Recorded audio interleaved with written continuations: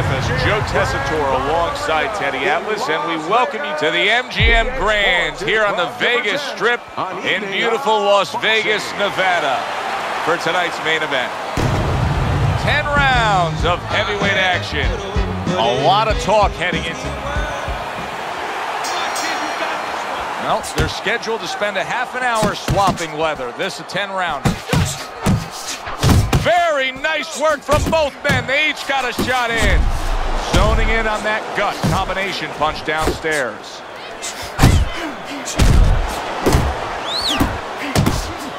Tall guy versus short guy here tonight in front of us. Teddy, why does it seem so hard sometimes that some tall fighters don't necessarily fight tall? Because, Joe, it takes great discipline to stay on the outside. You look at him, you say, hey, you're tall. I wish I was tall like that.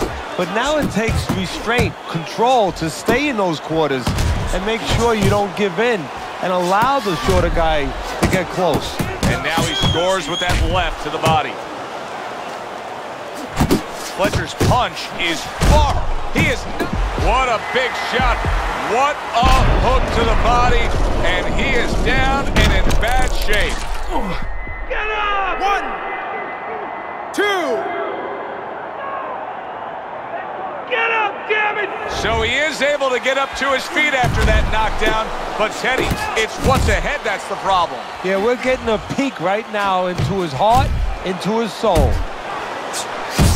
Well, he's got the attitude. Something's got to stick. He fires off the combination, and they both do. What a hook by Iron.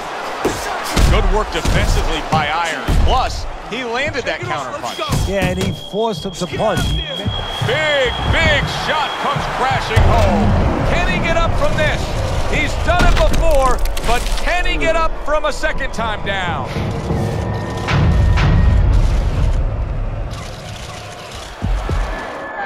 One, two, three, four, five.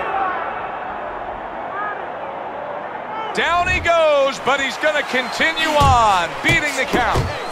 What a good counterpunch by Iron.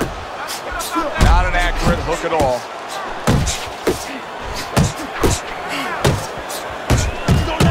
Iron's putting his punches together now. That's a nice combination. Well timed. Wow! Remember earlier he was on the canvas.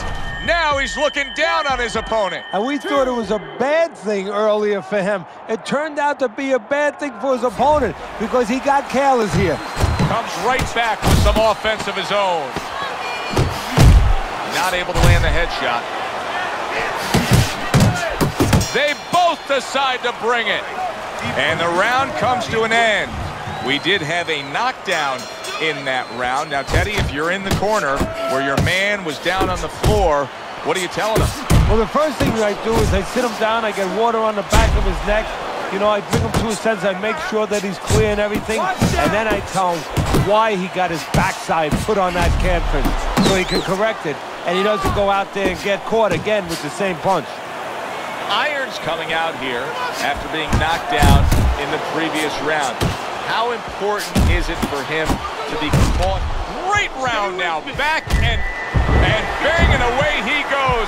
Can he beat the count? I don't think so here, Teddy. Now I know where they got that saying, falling like a sack of potatoes.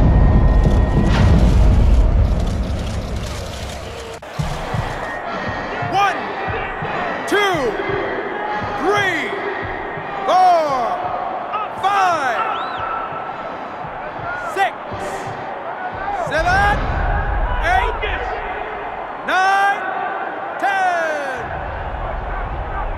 Get up! Get up! Get up! And it's all over.